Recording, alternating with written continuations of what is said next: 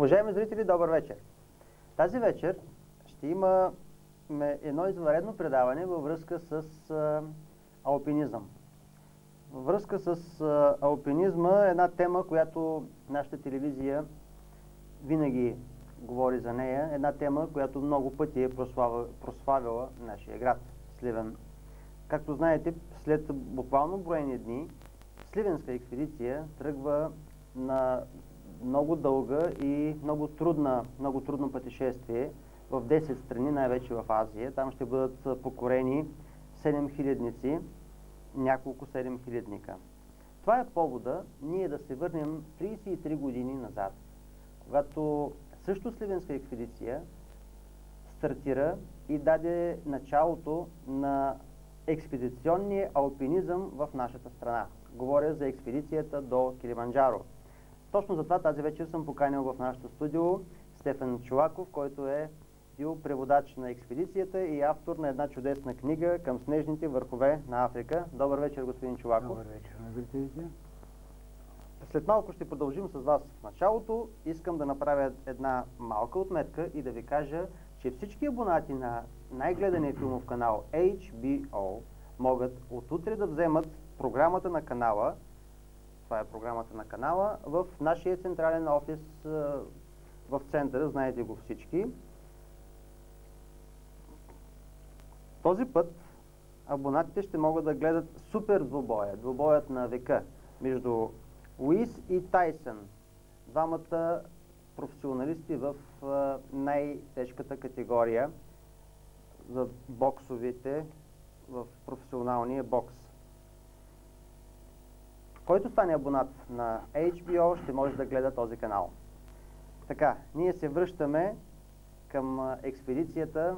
Радвам се, че приехте да направим това предаване, господин Чуваков.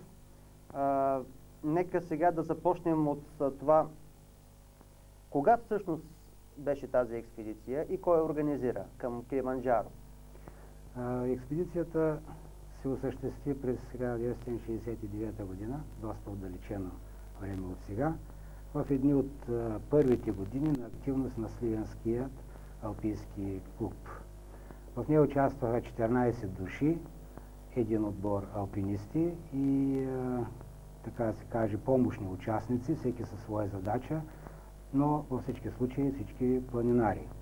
Експедицията трая 110 дни, значи 4 месеца без 10 дни, премина повече от 12 000 км на собствен ход с два микробуса Латвия, тъй като нямаше възможност да пътуваме с български кораб до Египет, откъдето започваше собствения ход. Трябваше да минем през Румъния, Молдавия, Украина, за да стигнем в Одеса, да се натоварим там на кораб и да пристигнем благополучно до Александрия, откъдето започнаха така красивите преживявания на всички участници. Тогава знаехте ли, че българска, че това е първата, реално първата българска експедиция като алпинисти, като алпинист? Да, това беше известен факт. Много участие имаше на отделни български алпинисти в състава на чужди така изкачвания, самостоятелни изкачвания в Алпите, в планини в тогавашния Съветски съюз, на другаде. Но такава експедиция изискваща толкова сложна организация, далечна експедиция до далечни страни, с а, няколко цели, освен целта изкачване, за първи път се организираше. А защо точно Сливен я организира? Ами, Каква е предпоставката за това? Предпоставката е, че а, Сливен минаваше, нека да не звучи нескромно, за най-добрият клуб, алпийски клуб в страната. Имаше солидна подготовка преди това, не мога да споменавам много имена, но примерно един Кръсто Алексия вече, вече беше заслужил майстор на спорта, беше участвал в отделни изкачвания, най-прочутата, една от най-прочутите безангийски стени, например в Кавказ. Нали? Така че имаше натрупан опит и е, съвсем естествено, така Сливен се нае да организира тази експедиция. Кой реално обаче организира? Реално експедицията беше организирана от Окръжния народен съвет, но тук искам да кажа не просто от куртуазия. В организацията участваха с помоществователство Министерство на леката промишленост, Министерство на машиностроението, много така политически дейци дадаха гръб тогава на експедицията. Искам тук да, да кажа, че всъщност освен целите да се изкачат тези върхове на Килиманджаро, Кибой, Мавензи, отделно върховете на планината Кения, експедицията имаше задача да изпита нови производи, български производи на леката промишленост, които бяха предназначени специално за алпинизма, за този спорт. Това дрехи Всичко, някакви? всякакви дрехи, раници, палатки, въжета, клинове, карабинери, всичко, каквото е необходимо за алпинизма, беше вече българско производство, което трябваше да се изпита. Освен това, храна, трайна храна трябваше да се изпита в условията на един горещ климат. Добре, аз четох тази книга, тя наистина е много хубава. вие сте автори към снежните върхове на Африка и през цялото време съм се питал, може би защото днес времената са други, но как успяхте с Латвии да преминете през Латвията? В крайна сметка може да върви май само по асфалт. По други пътища е доста по-трудно. А, вие сте изминали над 12 000 км с тези две Трябва да ви кажа, че на нас също не е чудно. Вече е чудно. Да, как всъщност се получи, зрителите ще имат възможност да видят една много малка част от а, така, пътищата, които са минати. А, нека да не преувеличавам, но всички тези 12 000 км, е, не е една пета някъде, една пета от пътя, ние сме го вървели пеш до колите, тегляйки, бутайки, вадейки колите от пясъците а, и така нататък. Това беше едно така много интересно преживяване, но така или иначе стигнахме целта, върнахме се успешно. Къде се роди идеята? Кой роди идеята за експедицията и защо точно Африка? Защо не избрахте Азия, там където са по-високите върхове? Да, доколкото аз знам, идеята се е родила в планината на някакво съвместно събиране на тогавашните ръководства сливенски и по-специално тогавашния първи секретар Иван Глабаджиев с сливенски алпинисти и туристи. Uh-huh. Просто се е родила идеята, след като толкова вече... А защо Африка? Ами най-напред е имало идея да се отиде на по-близко място, да речем тук в Европа, също и до Андите. И в края на краища се е харесал този обект Африка, защото значи трябва да бъде ясно, че това не е 8 хилядник, не е в Хималаите, не е Еверест, един връх, който е и по силите на нашите алпинисти, на нашия млад алпинизъм и в една, един континент, който е интересен сам по себе си. Да, но в същото време не, вие не отидвате до там с самолет. Да, и так му... Това е интересно. Това е интересно. Уважаеми зрители, след, след малко вие ще видите един филм, 40-минутен филм, за тази наистина много интересна експедиция. Първата алпин, а, а, експедиция за алпинизъм в нашата страна.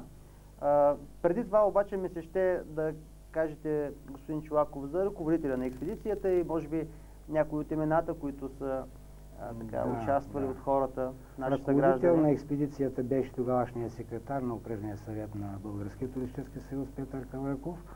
А, експедицията беше съставена в този 14 членен състав от 5 души алпинисти и други членове, както казах, които, от които всеки си имаше своя задача преводач, лекар, художник, който трябваше да рисува. Да, аз виждам чудесните графики тук на Тези Евгений Вълев. Тези иллюстрации са само няколко. Евгений Вълев направи голяма изложба с чудесни рисунки, с чудесни графики. И това е едно от, един от така нечаканите от начало резултати на, на експедицията. Към това бих добавил всъщност, че експедицията се върна с един филм от повече от два часа. Разбира се, материала за снет беше много, много по обширен, с огромен снимков материал, който се пази. Това ли бяха целите на експедицията? Да, това бяха целите на експедицията, но аз специално вече подчертах за това, освен изкачването на върховете и изпитанията, и този момент на, на, на, на, на създаване на контакти с туристически организации, с министерствата съответните на туризма на отделните страни. Даже с държавни мъже. Сега ще се види сигурно във филма, че експедицията имаше среща с тогавашния император Хайлия Саласия II. Той беше тогава... На Етиопия. Значи тогава имаше само двама императори на, на Япония и на Етиопия. И ние се срещнахме с един от императорите, което... Така, това е много така. интересно. А, колеги, ако може вече да пуснем на филма и през това време, уважаеми зрители, ние ще, т.е. господин Чулаков, ще а, разяснява какво виждаме, какво е на екрана. Да, това е изпращането на площадка Димитър. Не се вижда цялото множество. Там това е зимата на... Това е 15 февруари 1969 година.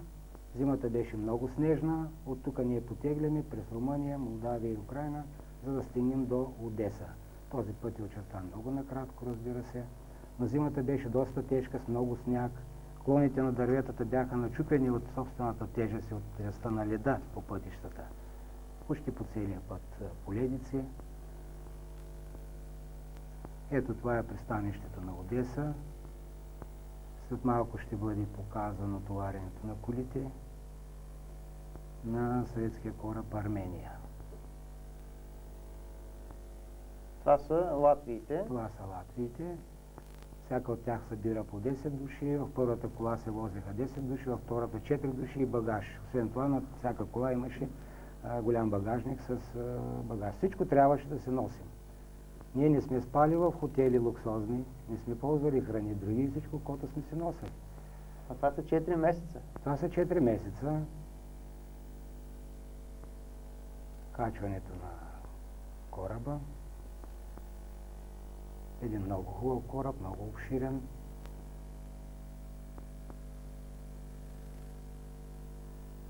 Между другото, пристанището беше заледено и с а, ледоразбивач разчистваха пристанището. Да, вие от ледовете да... отидохте в да, да. кратко на време. Африка.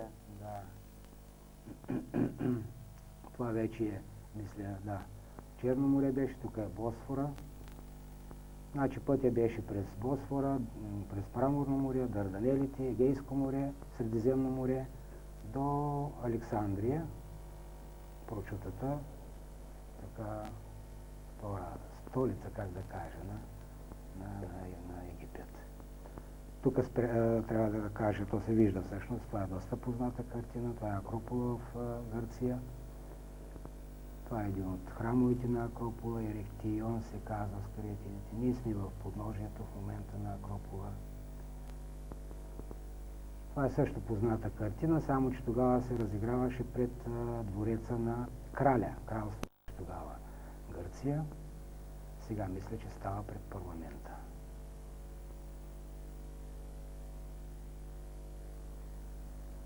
Те не го допускат техния крал. Да. Това е военен кораб. Мисля, че беше американски военен кораб. Имаше няколко американски военни кораби в пристанищата на Пирея. С подобна камера ли е правен? Преди малко дадох една камера. Не видях. Да, да, да. Мисля, че малко по-малка. Това вече е през Средиземно море.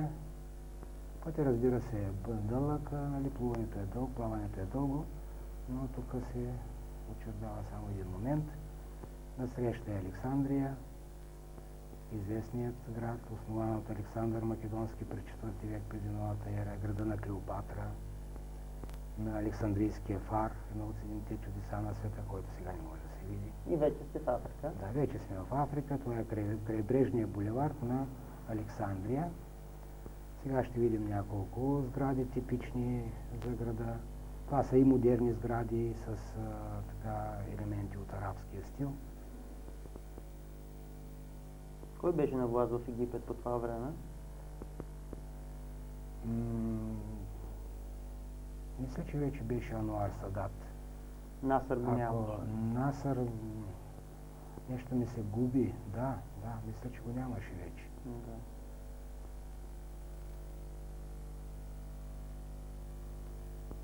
Да, ето елементи архитектурни от така арабски архитектурни елементи. Аз споменах, че филма, който ние направихме всъщност с помощта на телевизията и под присъщия режисьор беше на 2 часа.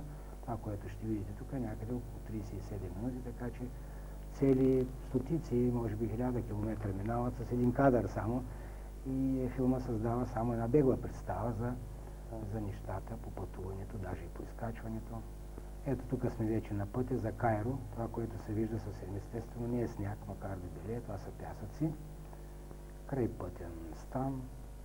А не може пясъци без камили? Да, не може пясъци без камили. Ето това е част от Кайро. Тогава Кайро беше с 4 милиона жители.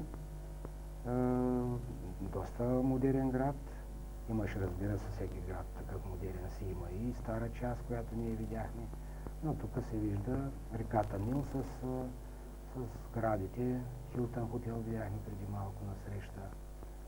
Реката тук се разделя на, разделя на две, огражда един голям остров, казва се Замалек, доста живописен остров. Затова изглежда по-малка, иначе Нил се знае, че е така голяма пълноводна река и най-дългата река на света. Това е така географско и известно нещо. Типични картини, ето ще видите тук. Вие минахте през колко общо страни? Пет страни, Пет страни. в Египет, Египет, Судан, Судан. Етиопия, Кения и Танзания. Ето това беше, това е много типична картина. Трамваите са припълнени така, че хората висят като гроздови по тях. Това пък е една от техните много почитани джами в старата част. Ето това е Националният исторически музей, където се пазят погребалните съкровища на фараоните. а, Тук на среща се вижда Хеопсовата пирамида най-напред. Няма сякаш панорамна, така, панорамен кадър. Тук е пирамидата на Хефрен. Пред него, това където сега влизаме и излизаме, това е погребалния храм, за упокоен храм на фараона. Сфинкса, за който се предполага, че носи така образа на този фараон. Лицето на Сфинкса изразява така лицето на, на фараона. Тук са край реката, вече покрай на Кайро. Кайро не е само модерен град, не е само така лъскави сгради. Отново реката Нил.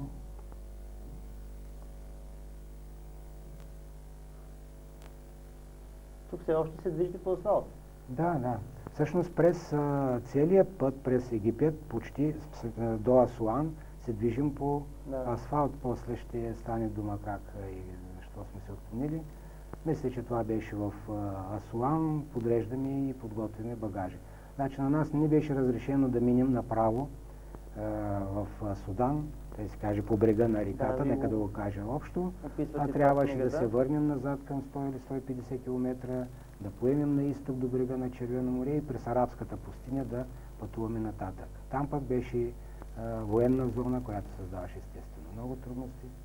Значи искам предварително да кажа, че едно от най-трудните, но най-хубави, най-екзотични неща беше самото пътуване. Минали сме през Арабската и Нубийската пустина и през планините на а, Абисиния. А, Това е само една малка част от а, тази Одисея. Колите затъваха често в а, пясъците, трябваше с ръце да ровим пясъка да ги изравяме. От тук път всъщност не се вижда. Не се виждаше, виждаха са някакви коловози, които след примерно 20, 30, 50 метра се разделят на още 50 други коловоза и може спокойно да се поеме по всеки от тях и спокойно можеш да затънеш пустинята без път. Така беше и с нас. Имахме компас, гледахме посоката, гледахме някъде по-твърди места за колите, но това беше типична картина през цялата арабска пустиня. И казвате, че може би една пета от времето сте бутали. Може да, да дано не преувеличавам, но като сметна нали, пътя през тези пустини и планините на, на Етиопия, а, грубо така трябва да излезе сметката. Арабската пустиня е по-различна от Сахара. Има трънливи акации, има така отделни туфи трева, а, по-плитка, но има и такива ниски места с много дълбоки пясъци, където спокойно може колите да а, по корени да не може да, са, да бъдат изтеглени.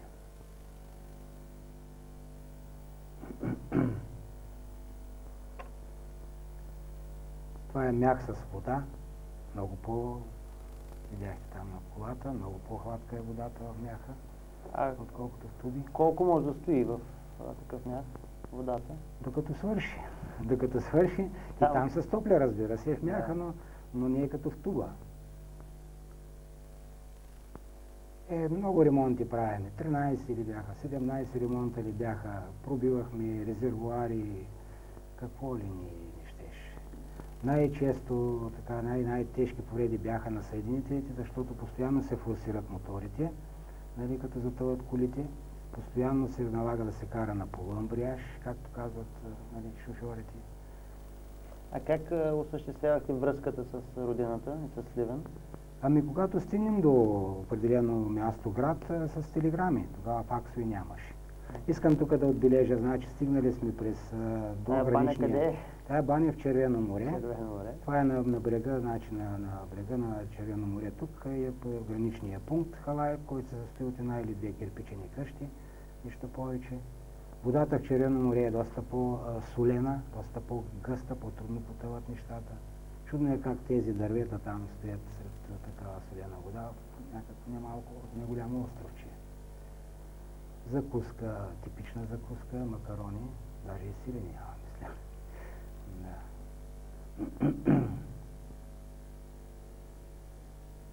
Е, това е вече Порт Судан, най-голямото пристанище на Судан. Виждали сме се, значи, не, не много навътре, но все пак на десетки километри навътре в да. а, територията на Судан, за да стигнем това, а, това пристанище тук. Картина от, а, от Порт Судан.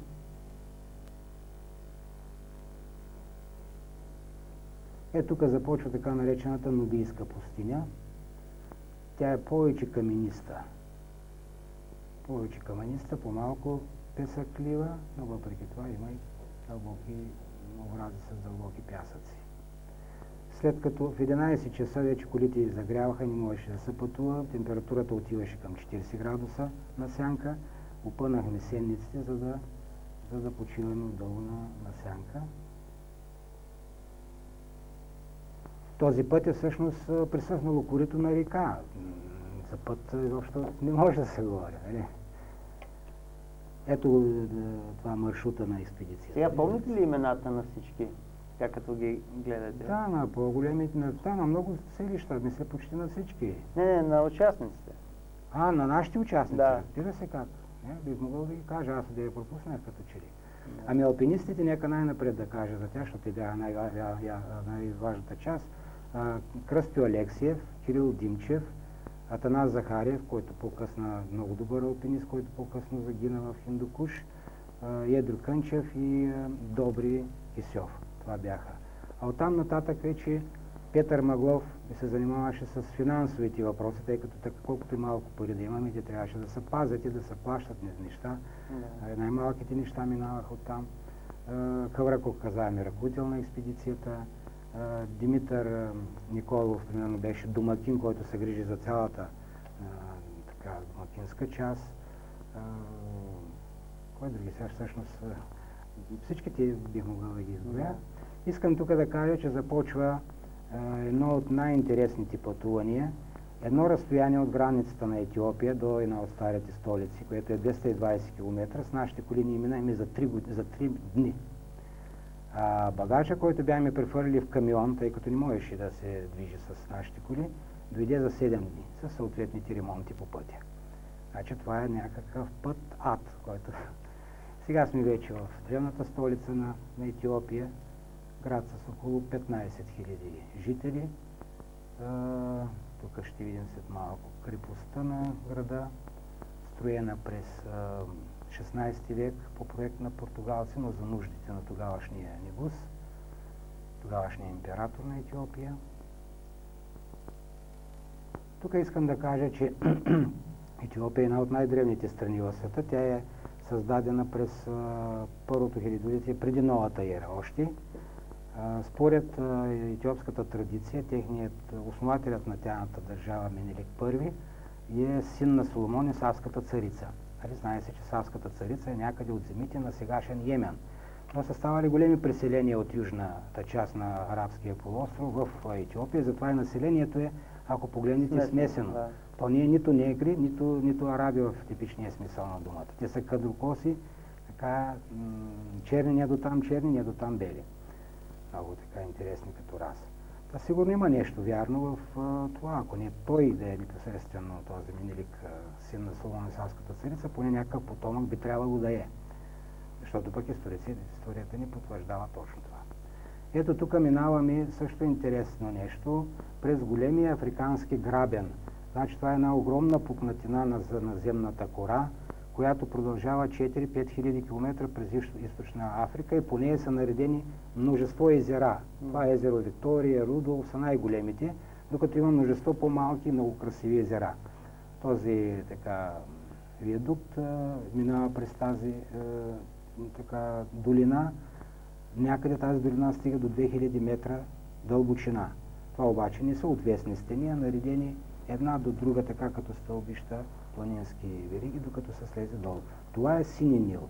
Значи Сини Нил из, извира, да, из, извира от Етиопия, прави една огромна подкова и към Хартум в Судан се влива, се събира с Бели Нил, за да стане този общ Нил, който върви по-нататък. Столицата на Етиопия Адисабеба. Столицата е създадена в последните десетилетия на, на миналия век тук ли се срещате с императора? Да, тук се срещаме. Ще се види и той. Това е пазаря, типичен пазар. Нека да го кажем арабски, ни така сме свикнали. Типичен африкански арабски пазар. Самият Хайле Саласие първи държеше властта от 28 година. Нали, по време на фашистската окупация нали, от Италия беше емигрирал за някоя година и друга, след това се връща отново. Един много така интересен, много мил човек, както ще видим по-нататък, така с много добродушно излъчване, независимо, аз не говоря за оценките като политик на, на императора, с голямо чувство, добро чувство за, за България. Той беше идвал, аз мисля вече два пъти в България, когато ние отидахме, но може да греша, но всеки, че беше идвал. Това са централните учреждения на, на града. Това е организацията за, на, африкан, на държавите за, на, за Организацията за африканско единство. Да. Ето тук отиваме на среща в Министерството на туризма.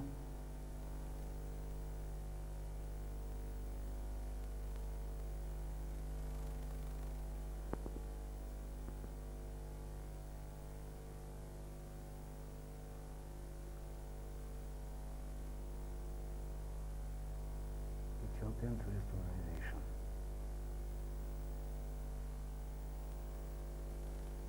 Българския посланник. Трябва да кажа, че получаваме подкрепа от всички посланници, където спирахме. Значи имахме престой в Кайро, в Етиопия и в Кения. Да. А, ние тръгнахме без визи. Също както така Динко има много трудности, така ние имаме трудности. Просто се бавяха визите, а трябваше да се тръгне преди да дойде дъждовния сезон на Килиманджаро. Затова Тук много пък трудно... за България, може би? Да. Тук това е един пикник с, с семейството на, семействата на, на посолство в Етиопия. Това е символа на в герба стои този лъв на Етиопия. Един от дворците на императора. А сега вече се отправяме за среща с а, император. Съжалявам, че срещата е къса, кадрите са малко. Това беше една много интересна среща. Още като влязам и в двора на... А как така на... той реши да ви приеме? Еми, по предложение на, на нашия посланник, а, трябва да кажа, че всички тези страни бяха много заинтересовани да се превърнат в а, туристически привлекателни страни. Да. Така, няма време тук да говоря много, но това беше един така дълъг, широк кабинет. А, две кученца се търкаляха малки е, по пода. Трябваше заднишком да напуснем. Това е един от двамата тогавашни императори в света. Да.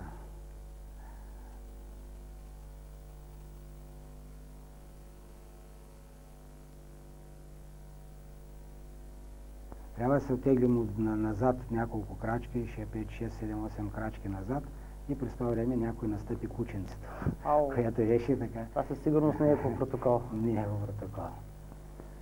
Е, сега вече пътуваме през южната част на Кения. Това, което се вижда е термитник, дето, дето се вижда да. там да стърчи.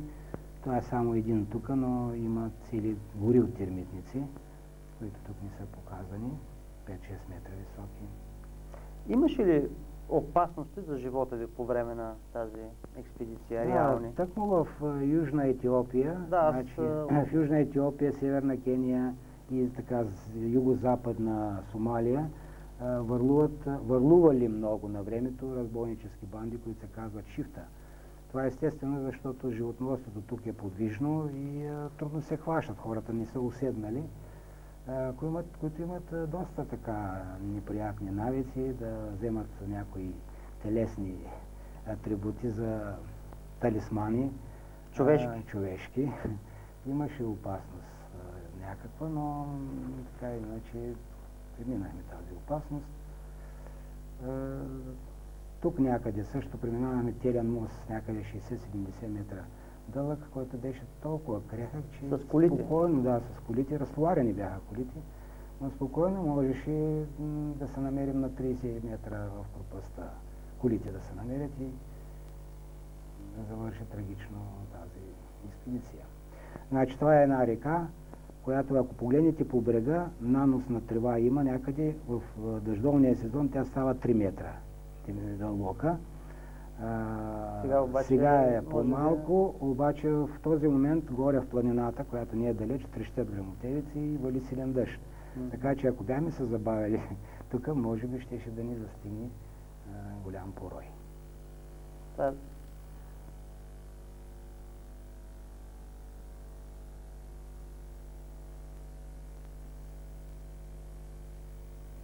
Когато тази вечер малко преди да се включим ние, правихме новините, господин Чулаков, и аз обявих на колежката, кой ще ми гостува и казах е, името на наименованието на вашата книга към снежните върхове на Африка. А, моята колежка помисли, че се шегувам, защото снежни вихрове и Африка да. не се вързват. Може би по-късно ще кажете няколко думи за да тези върхове? Да, ще предпочитам да кажа така на друго място, когато има малко повече време. За, но, но сега нека да кажа, че всъщност тези върхове не са само снежни, но са и ледени. Примерно на планината Кения има ледници, които са дълги километър и половина, значи, които почват отгоре и се спускат до километр, по, до, на, на километър и половина надолу. 15 ледника има на, на... И в същото време и сняг, вечен сняг, нека да кажем вечен, може някога да се топи, но пада да. така че вечно да е задържан сняг на ледниците. А това на какво разстояние от екватора? Ами Кения е по-близо до екватора, малко под екватора. Килиманджаро, нека да кажа някъде 5-600 км, така казвам да. сега малко на на изуст. Значи екватора минава през едно селище, казва се на Нюки, ние го минахме вечерта през, през нощта. Вие го минахте? Да, стъпихме на екватора от двете страни. Ако може така да се каже на въображаемата линия. Там а там с нещо обозначено ли е? Да, имаше табела, която пише на този знак е на екватора и така нататък. Да. Сега сме в... Това вече е Кения. Това вече е планината Кения, парка Кения да. по-скоро. Планината още няма да я видим. Национален парк Кения. Тук се влиза със специални разрешителни разбира се, лов ни е разрешен. Животните не са плашливи. Ние бяхме на метър от примерно африкански биоли. Даже имахме премеждие с тях, като ги раздразнихме, щяха да обърнат колата. Щяха да просто да се хвърлят да се с рогата си върху колата. Тук остана основната група на тази поляна. Това е тропическа гора, в която може да видите отстрани само пътеки, които където се движат носорозите, нали, биволите, да. слоновите, пътища естествено няма. Тук на тази поляна стояхме ние основната част, да се каже, помощната част на експедицията, алпинистите, с оператора Томас Захариев, с художника, с ръководителя на експедицията и някои други от посолството се отидаха в подножието на, на, на самите върхове, за да бъдат изкачени. Това е типична картина вече. Толкова животни сега вече сме свикнали. Гледаме по телевизията National Geographic, нали така беше, да. или там други за животните, но тогава беше голямо, голямо преживяване.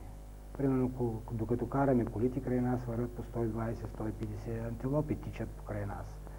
Те са поплашени, но някак не им идва на ума да се отклонят, тичат покрай, покрай да. пътя. Штраусите също.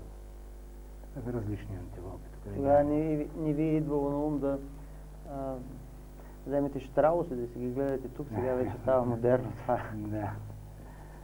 трудно можеше да вземем нещо. Между другото, ние нямаме никакво оръжие. Значи ние бяхме, за шега се носеше една сабя от Балканската война, един или два ножа войнишки, с които се отваряха консервите, защото бяха малко по-яки, и на мачете, които сечем, примерно, клони на дървета, за да, да подпъхваме под, под колите. А това беше оръжието. И ако имахме оръжие, това ще, ще да създаде повече затруднения, може би. Да. Защото ето тези разбойници искат да се здобият по-скоро с оръжие и биха ни ограбили заради оръжието, да кажем, ако знаят, че имаме такова. Е, тук в Кения има и някои асфалтови пътища в а, южната част, след Найроби. Значи между Кения и Танзания вече има някои така по-добри пътища.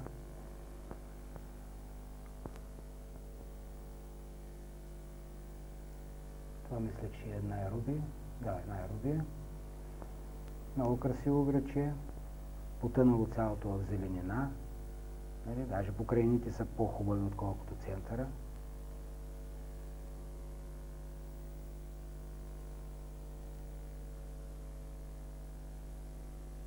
Това е една пресконференция информацията. По, по вашата част. Това е една пресконференция в двора на посолството, където бяха много любопитни да видят нашите, нашата екипировка, да. как е произведено, къде е произведено, що и така нататък. Къде не, просто ми направи впечатление, че явно там са имали по това време Министерство на информацията. Да, да, да. да. това е журналистка от техните вестници. Ето Килиманджаро отдалече. Да. Така нищо и никаква работа, сякаш на 6000 метра. Значи това е в а, Алпийския клуб а, на Килиманджаро тази жена е българска учителка в, а, е едно, е да, в едно градче Моши, което е самото подножие на планината. Да. И тя ни оказа огромна а, помощ. Тази жена се беше качвала на, на, на Килиманджаро. Сега ще видим един спектакъл, който е предназначен специално за нас да. в училището, където учителства тази наша сънародничка. Нека през това време не прече, значи, докато се гледа а, този спектакъл, да кажа няколко неща за върховете, тъй като после нещата вървят. Да. Значи, планината Килиманджаро е, това е вулканична планина, която се състои от три вулкана, от три върха. Кибо, най-високият, е 5895 метра, значи 115 метра, без, без 115 метра, 6000 метра. Вторият Мавензи, който има по-силно изразен алпийски характер и който не може да бъде изкачен без съответните алпийски принадлежности, по-нисък, но много труден, е 5350 метра висок. А пък планината Кения, която също тук ще се появи сега, нали, да. явно така е решил режисьора, планината Кения е, е с връх 5200 метра висок отдалече... Вие и трите ли ги? Да, и трите са покорени от това. Значи Кибо е покорен от всичките 14 души, това ще се види.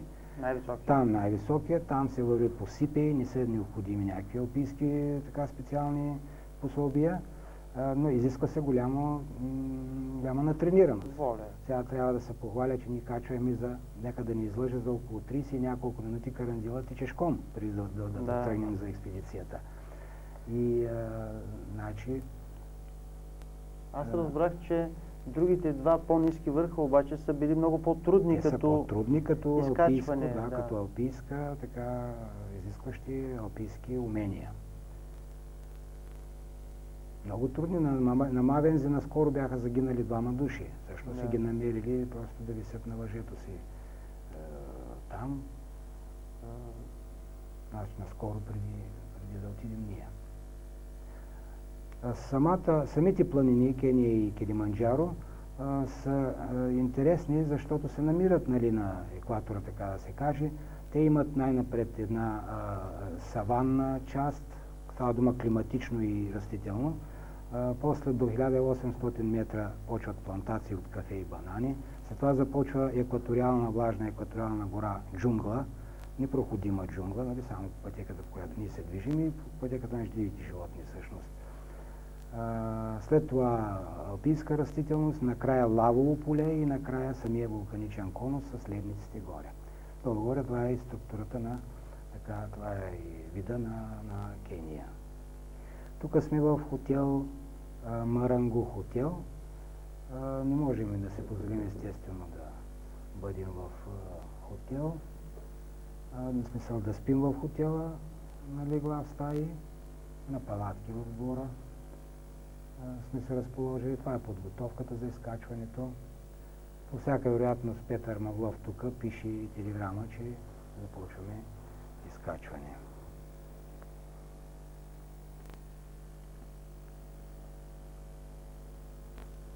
Аз ще ви помоля обаче още веднъж да се опитаме да, се, да назовете поименно участниците в експедицията. Явно това предизвиква интерес в да. нашите зрители. Да. Ами, а, значи да повтарям ли отново? Алпинистите не, да са, да, да. Добре, алпинистите са Кръстю Алексиев, Кирил Димчев, а, Атанас Захариев, Добри а, Кисьов и а, а, Едо Кънчев. Да. Оттам нататък, значи тук, тук са 5 души, оттам нататък започваме ръководител на експедицията, Кавраков, 6 Петър Маглов, така да каже финансовия министр, 7. И така го и Димитър, да, Димитър Николов, Димитър Николов, който беше домакина, 8. Художника Евгений Валев, 9. Доктора Бояджиев, Тодор Бояджиев, 10.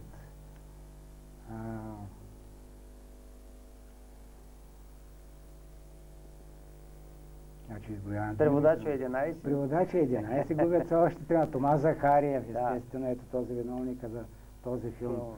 Трима Тома Захариев е 12-тия.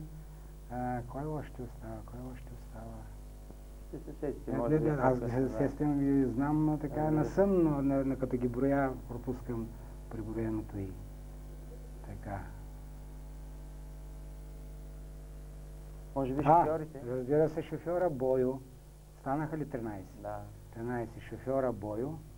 И още един, още един, нека да го видим тук, че... Е, те са две латвиите. Те са две латвии, но на втората Латвия се сменяха вече да. непрофесионални шофьори. Значи той по ремонтите е бил? Да, той е по ремонт. Ние си правихме ремонти в съответните сервизи. Най-често на съветските и там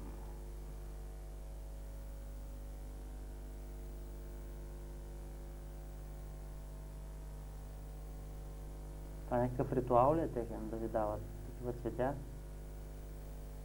Да, вероятно. Значи, тук искам да кажа, че кое беше особеното на тази експедиция и искам да не го пропусна. Всички, които идват да изкачват Килиманджаро, се наемат носачи. Не ми си идват, да, да речем, двама да. души, наемат си 10 носачи, които им носят даже койките, леглата, нали, всичко им и носят. И си плащат нали? за това. Плащат се за това. Докато ние се носехме раниците, всяка раница тежеше 25 кг, на Кирил Димчев и някои други тежеше към 30 кг раницата, изпълнена с клинови там, с стълбичка и там и други е, е, такива алпийски принадлежности, също и храната за няколко дена. Пътят до подножието на, на, на, до, до подножието на кратера е 50 км. То се, то, тези, това разстояние се преминава за 3 дни. Ние с раниците преминахме два етапа за един ден значи някъде към 36 км, с наклон, кажете го някъде към, до, към 4000 метра, с 30 кг раници преминахме сами. И това беше едно от събитията и така от очудванията на, на местните хора от клуба. Но те не знаят, че ние си имаме карандил, който да, се изкачвали. Да, да, да. Това вече това, тук леда. Това трябва да се каже всъщност, за да се оцени наистина какво нашите момчета са направили. Това е на планината Кения. Ето виждате тук като че ли има някакви преспички, но тези преспи са до километър и половина надолу. Нали? Това не са преспи, а ледници всъщност. Да.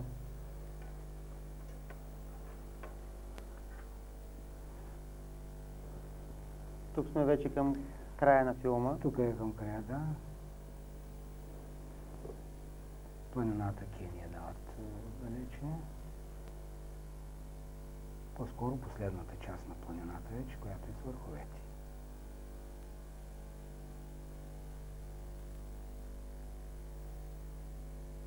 Ето Атанас Захарев, който по-късно загина, много опитен алпинист, много добър приятел, много честен човек. Е, Любен Петков, това забравяхме. Ето този човек, който мери тук. Да. Това е Любен Петков. Навсякъде беше на мястото си, навсякъде мерише с компаса, така оглеждаше температурата на лягането на въздуха, винаги бяха записвани на всяко място по време на пътя и на изкачване. Може би дневник сте си водили там? Да, разбира се. Много от нас водих. Ето това е изкачването, но а, тук а, ни е дадено изкачването по самия кратерен конус. Той е над 1000 метра. Да. Много стръмен. Това е един сипей.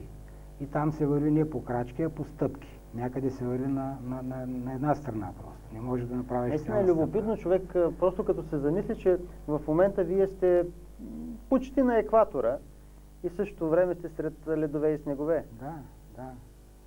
Дано се видят още веднъж ледниците на, на Килиманджаро. Тези стълбища, които всяко от тях е по 6-7 метра а, високо. Майче се отмина това, някакво пуснах сякаш. Сега се движим по кратерния венец, някъде на метър-два от а, самия кратер. Кратера на Килиманджаро е 2 км и половина широк. Вътре има конус допълнителен с, допъл... с, с, с а, свой кратер от 800 метра диаметър. Но, но той е по, той по-нисък, е по, по-ниско е, да. да. А, ето тук е на кратерния ръб. Не се вижда тук никаква опасност, защото на 180 метра надолу е нали, пропаста.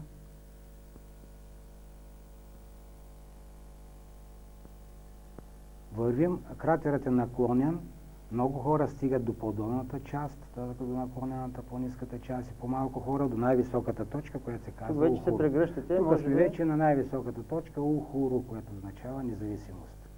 Ето Петър Маглов, ето Бойо, сега да кажа шофьора, ето доктор Бояджиев, ето Кръстю Алексиев, този в ляво, а, така, така. Какво оставихте на върха? На върха оставяме някои знаци и символи. Това а, носехме от хайдустото, нали? От 68 да. година беше минало хайдуст. Тази алуминиева котия е, а, се стои там и ние оставяме постоянно знаци. И понеже експедицията беше организирана във връзка с 100 годишната на Ленин тогава, а, носехме един малък а, такъв барелев на Ленин. Да. Това е Любен Петков, който ние забравяхме да споменем от началото наш най-добър приятел. Това е Тома Захария, това е отново е шофьора. 33 години назад. Това е отново доктора. Така, този е на Добри Киселов. Този е Наско Захариев, Атанас Захариев.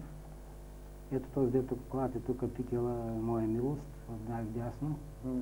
Това е Едри Кънчев, другия алпинист, Димитър Николов.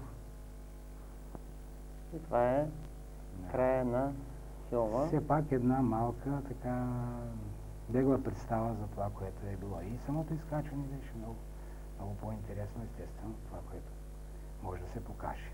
Така. А, господин Чуваков, няколко думи за връщането.